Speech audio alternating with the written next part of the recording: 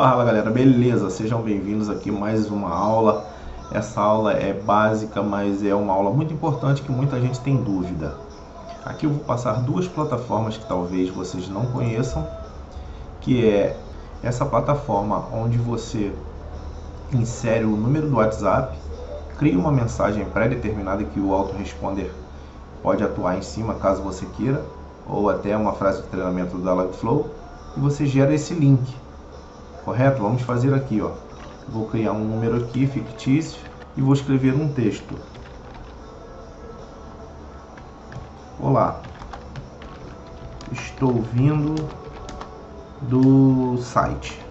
Essa frase aqui vai chegar no celular que, que terá automação com autoresponder ou da Flow. Gerar link, aí ele gerou esse link grandão aqui. Não é um link que seja um, é, um link bonito. Então vamos tornar ele mais amigável. Você vai copiar ele aqui, vai vir aqui nesse site bit.ly.com, vou deixar aí na, na descrição da área de membros aí o, o link dos dois sites. Você faz o login com a conta do Gmail mesmo.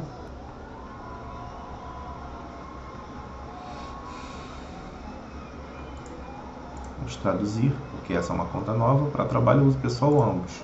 Esse pessoal ele vai abrir nesse formato aqui você vem aqui em Crio, cola aquele link aqui. Ele tem aqui três, esses dois campos. O título, que é para você depois se localizar. Você pode botar aqui link, zap. Você escolhe o melhor nome para você. E aqui é o link que vai aparecer para a pessoa. Aí você pode dar o nome que você quiser aqui. Link site. Um exemplo.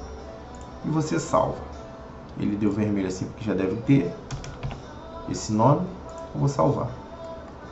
O link foi editado, ele vai vir aqui. Esse site é interessante que você consegue fazer uma, um acompanhamento dos cliques que teve aqui no, nesse link que você criou. Aqui você copia, compartilha e edita. Eu vou copiar e vou colar ele aqui e acessar.